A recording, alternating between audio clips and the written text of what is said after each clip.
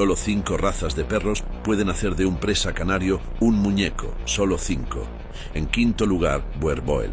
Puede tener más fuerza física que un presa canario, igualmente territorial, puede derribar un presa canario y hacerlo de muñeco con el peso del cuerpo y la fuerza de mordida.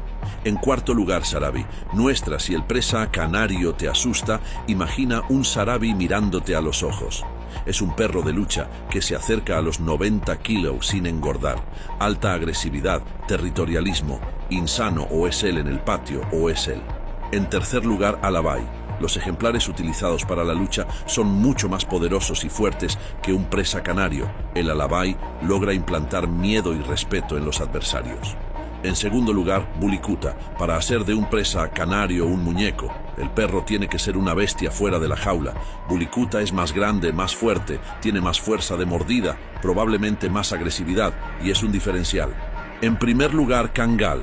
No me gustaría ver un Kangal y un presa canario encontrándose, a menos que hayan crecido juntos. Un Kangal mal entrenado es un asesino completo y bien entrenado es un luchador perfecto. Diferente del Buerbuel, del Sarabi y del Alabai, el Kangal tiene mucha más energía. Entonces, estas son las razas capaces de reducir a un presa canario a nada.